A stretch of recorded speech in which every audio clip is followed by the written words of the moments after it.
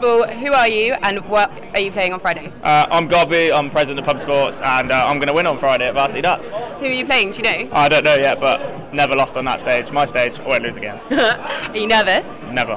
Never. No? Not against you, Yov, nah. Like, occasionally, whatever else tournament, but it's my stage, it's my crowd, it's my venue. Never even had a dart double against me, so I ain't losing. I love it. I love it. So, what did you think of the article that um, Notts Tab wrote about Trent?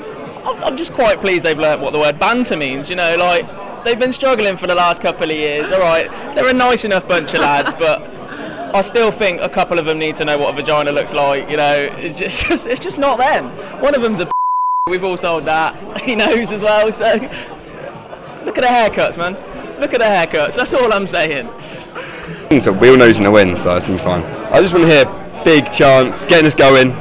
The more we can hear them, the less we can hear them, so I'd be fine. Do you reckon we can scream louder? Oh yeah, we, we, we were louder at Rock City, and they were they outnumbered us three to one, so we'll be we'll be fine. We'll be fine. And um, what about the drinkers on your team? Who would you say is the best drinker? Not me. I have a nickname for a Are you reason. drunk now? No. Are you sure? Yes. um, Gobby, he's the biggest drinker. Huh? Probably. Gobby. Eh, eh, probably. Does he play better the drunker he gets? No.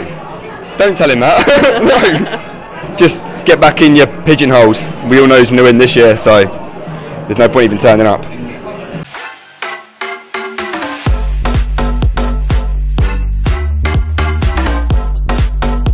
It's a good drinkers. Not me. And no one said I was a good dance player either. But you are going to win. yeah, I'm going to win.